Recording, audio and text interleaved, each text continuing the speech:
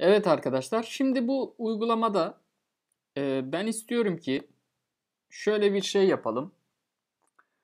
E, bunu GitHub'a yükleyelim ve GitHub'da herkesin kullanacağı bir şekilde paket yapalım bu yazılımı. Şimdi bunun için e, bu şekilde de yapabiliriz ama ben şuraya namespace'leri kullanmak istiyorum. Şöyle diyeceğim ki namespace ne diyelim? E, paketimizin adı ne olsun öncelikle? mtbb diyeceğim ya da ben e, ne diyelim?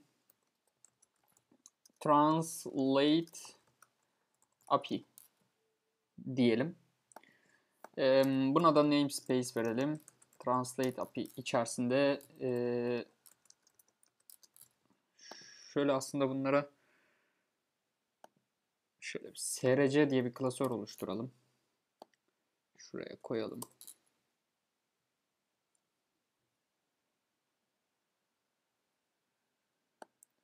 Şunu da koyalım. Şuraya gelip şuna bir interface diyelim. Şöyle bunu da bunun içerisine alalım. Şimdi Translate API'nin içerisindeki inter şöyle interface diyeceğim. Ha, şey interface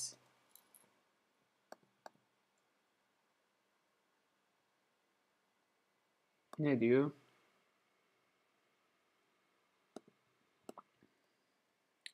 Şunu da bir refactor edelim. Interface.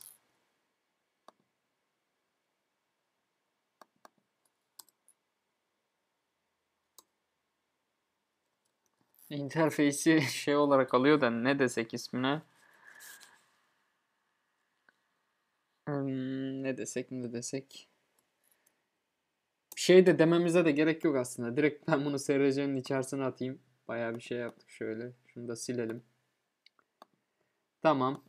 Translate için de namespace translate API, API dedik.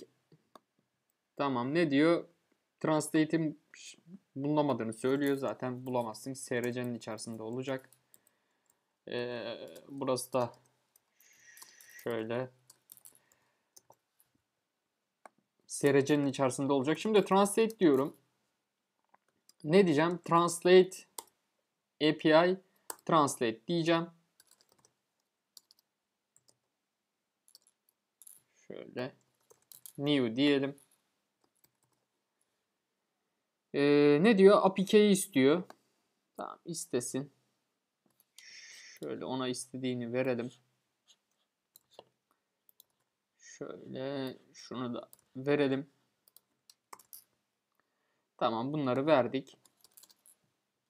Şimdi yine çalışacak mı bir bakalım.